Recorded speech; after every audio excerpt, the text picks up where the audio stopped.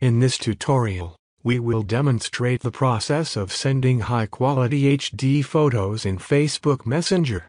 The recent update enables users to share clearer and crisper photos in their conversations, eliminating the issue of blurry and low-quality images.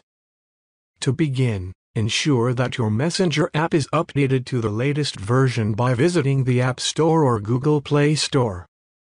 Subsequently, open a conversation within the Messenger application. To send high-quality photos, tap on the photo gallery icon before selecting the desired photos. Activate the HD option by tapping on the HD button.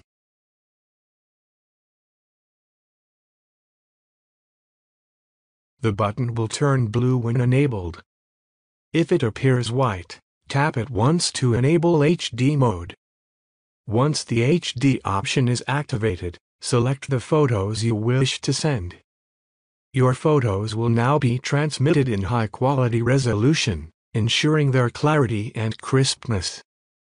Please note that if the HD option is not visible in the top right corner of the photo gallery window, it indicates that the latest version of Messenger has not yet been rolled out in your country.